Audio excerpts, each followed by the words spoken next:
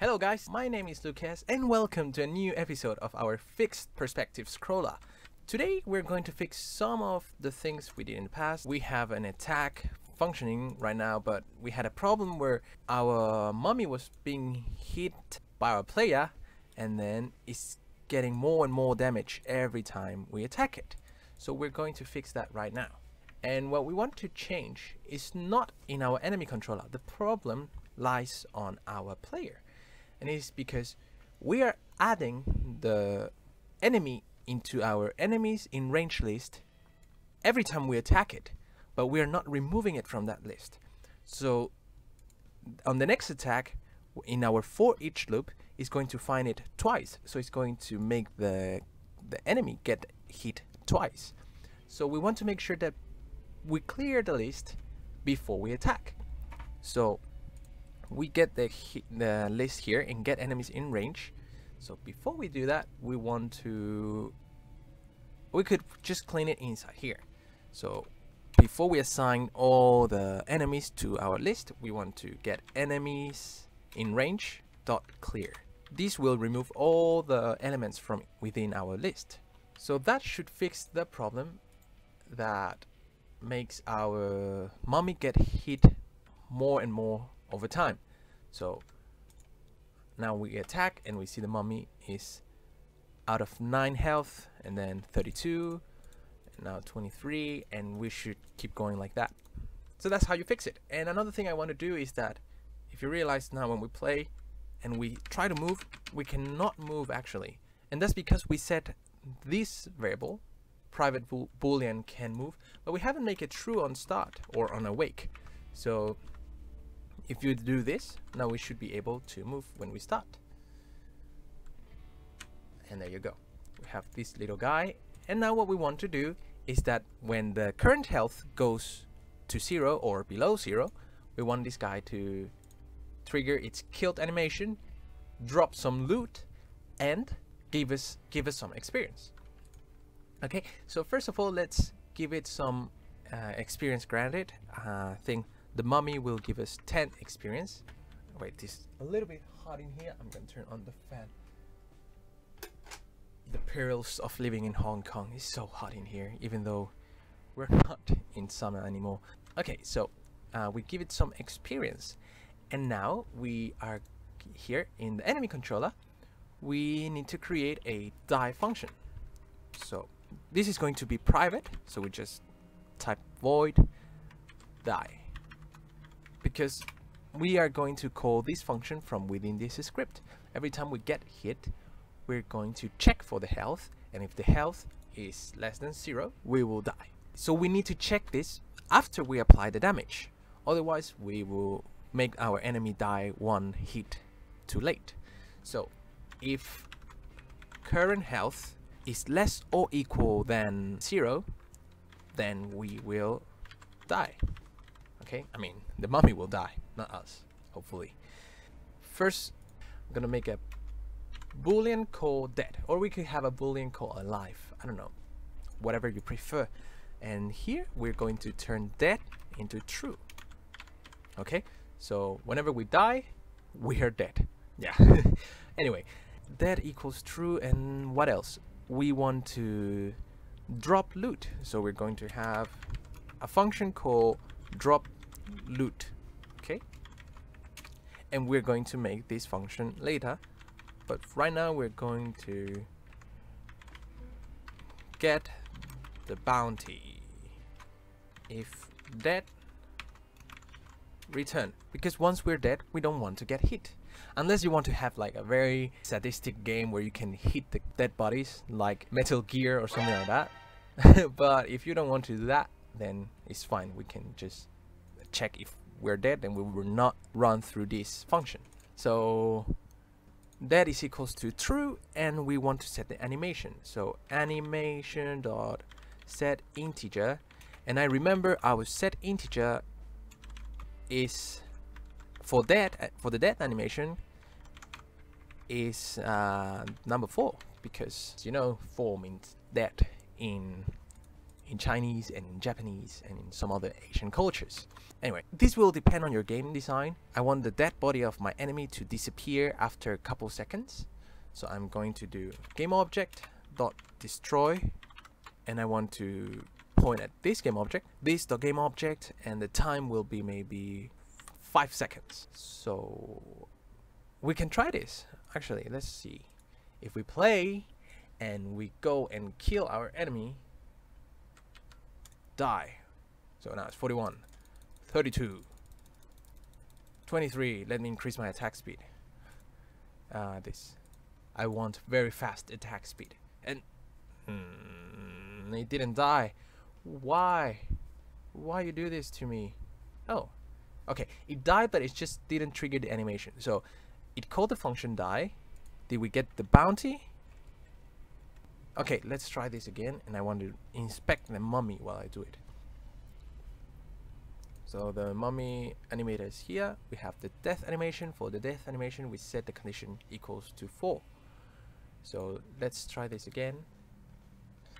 Go here. Attack. Attack. Attack.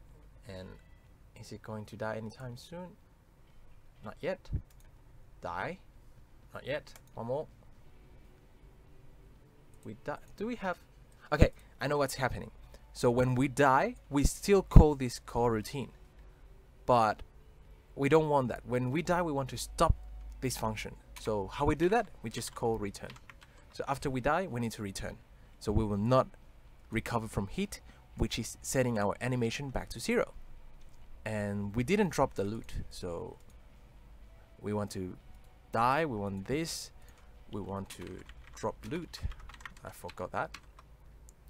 And I'm going to change my player attack speed because right now he's a noob and he's his attack speed is very low. I want two attacks per second. So let's go. We go find our first enemy and let's kill it. One two three and and we have an error what the hell? Okay let's not get too carried away. We still have plenty of bugs that we need to fix so let's take it easy. One attack two attacks three attacks and let me check my mummy. Current health 14 5 and die. Yeah it died. It died it. So and then it disappeared. And did we get the bounty? Yeah we got the bounty. So now we can kill we can actually kill our enemy. And we need to give us the experience. So we will do that from the player controller. So in the player controller we are going to make a function called get experience and we're going to make it public. And that game experience get experience function I don't think it should be in combat I think it should be in a new region that we're going to name later with experience money and all those things. So going to make a public void get experience. I think that's how you spell it. Sorry not a native English speaker. And get experience. We're going to give it a parameter float or an integer whatever you like to use in your game. I'm going to call it exp do we have a boolean for our total or uh, sorry a float for storing our experience?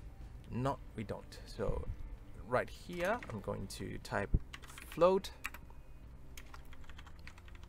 let's make it public so we can see it but later we will need to make it private. Uh, public float experience. Okay and then we need to make a curve for leveling up with the experience we obtain. So experience we are going to add it here. So experience plus equal to exp so we just want to add this experience into our total experience okay so now we have to call this when we die so when we die we are going to get the player who killed us so how do we get the player who killed us because maybe we have different players maybe the enemy got killed by a hazard or by another enemy that can have friendly fire or something like that. So we need to get the player who killed us. So when we get hit, we actually can know who called the function because this function is being called by the player controller. so we can pass it here or what we can do mm, let me think. Okay right now we're not going to do this. We're just going to find the player and give it to it. We could give experience to all players if we have an array of players. So for example we're playing with our friends in co-op mode we will get all the players and distribute the experience through them. So um, let's make a we can make a list or we can make an array. I'm gonna make I'm gonna use an array so let's do um, player controller like this. I'm gonna make it private. Player controller uh, players and it's going to be just that. And we're going to set it on start. So players is equals to game object dot find game objects with tag.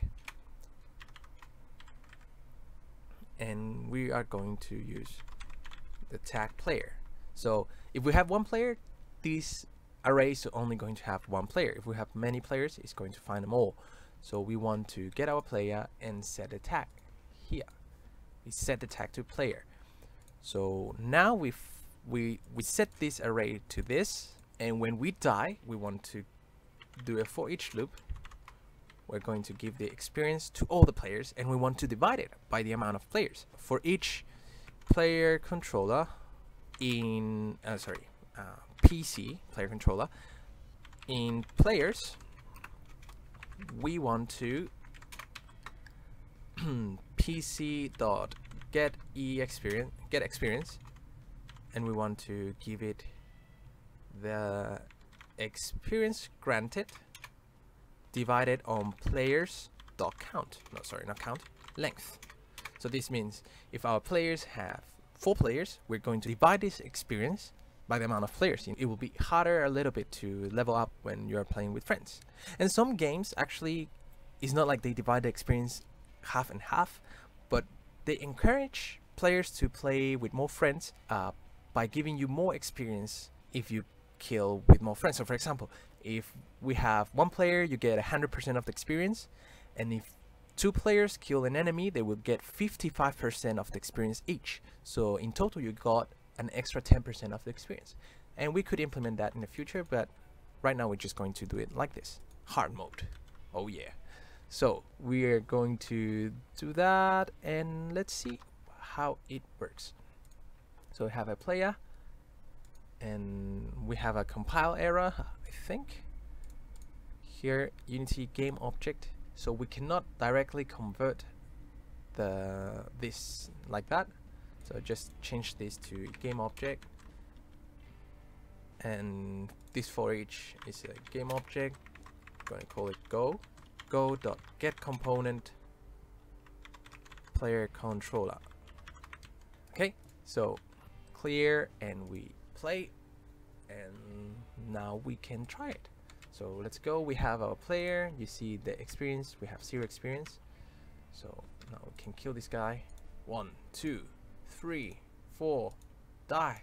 Die already. And we got 10 experience.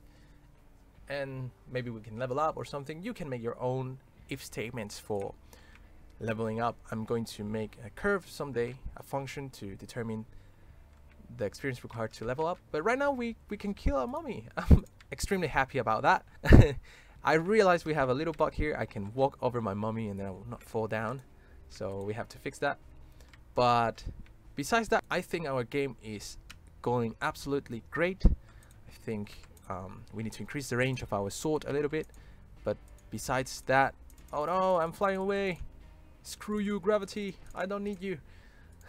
I think we're doing pretty well. So thank you very much for watching guys. I really enjoy making these videos and if you could like my videos and comment and share it to your friends, I'll be extremely happy. So thank you very much. I will see you next time. Goodbye.